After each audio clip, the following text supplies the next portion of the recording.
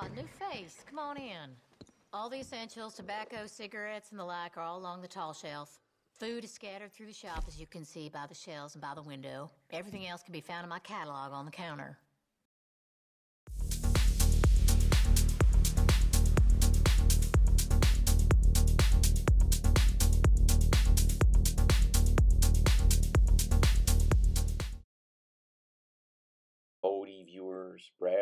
Proprietor, Barstool Entertainment, doing another Red Dead Redemption 2 video.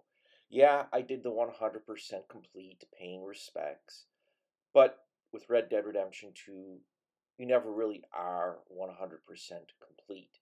Not unless you find all the animals, all the trinkets, all the gear, finish all the bounties, um, finish all the treasure maps, and that's what this is. This is the Elemental Trail treasure hunt, treasure maps. So let's get on with one of the final treasures that you can do and find after 100% complete. If you go to the farthest west that you can go and you ride around in the maze of trails, you'll come upon a body hanging from a I don't know, you want to say a piece of wood, a beam, and you got to shoot that body down and investigate.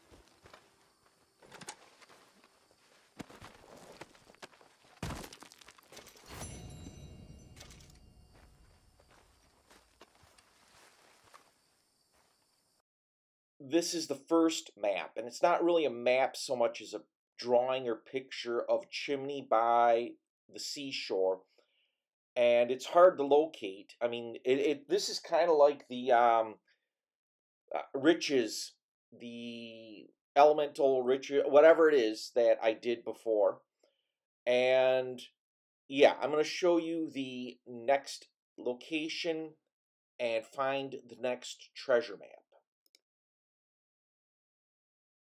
Okay, you come down by the river, and there's this burnt out kind of dilapidated house where the next treasure map, or should I say, picture, is located.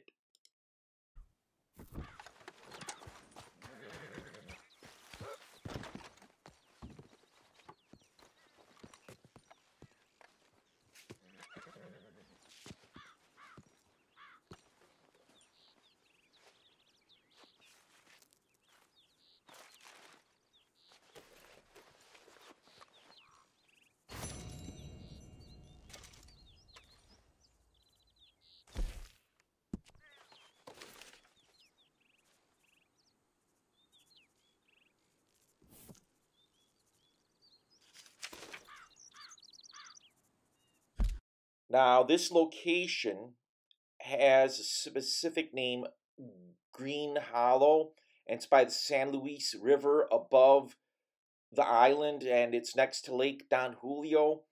And the next location I'm going to head toward is by Benedict Point.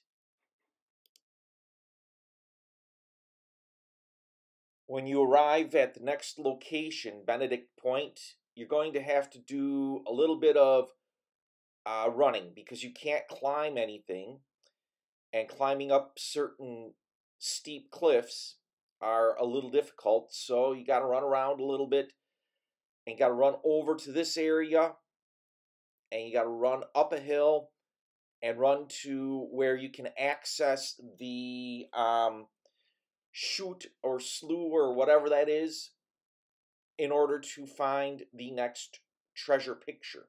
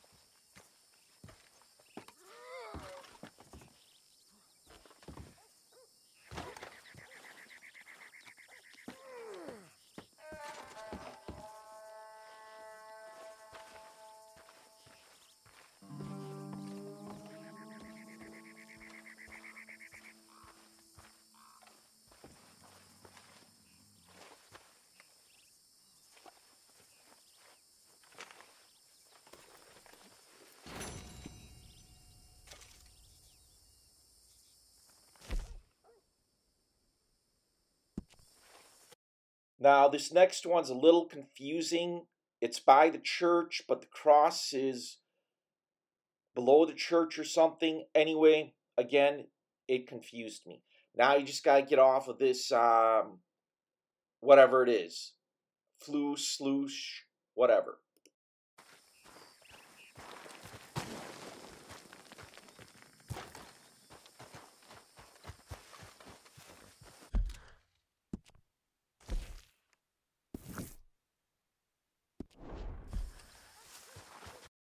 The location of this is now, I'll show you right here, Benedict Point.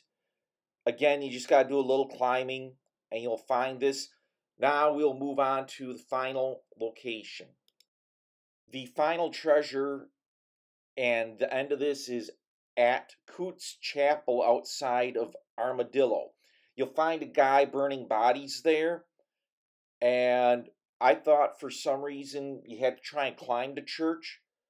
But then I realized, wait a minute, there's no way to climb the damn church. So it turns out that the actual treasure is located under a rock in a grave by the church. And that's what the arrows indicate. You go to the left of the church, and then you look down, and there should be a cross where the treasure is. Again, I thought I had to climb the chapel, but then I was looking around and I realized, oh, wait, no. It's not this tree that I'm having John walk to, but it is the tree next to the chapel, right here. This cross right here is where the final uh, treasure is. And if you look under the rock, you will get a trinket, the one trinket that you might need, Crowbeak trinket, and then a gold bar, and that's it. The Crowbeak trinket, I don't know if it's worth using, but that's it. Mission is complete, and I'm going to save my progress, and I am done. Not 100% done, but I am done with this treasure map.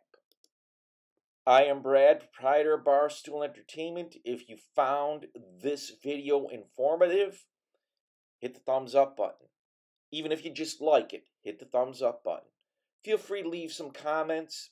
All these things are good things to let YouTube know people are watching my videos. If you like this type of video, hit the subscribe button and bell icon. I post four video game related videos a week, some shorts and some specials, and you don't want to miss out. As always, thanks for watching, thanks for subscribing, and most of all, thanks for stopping by.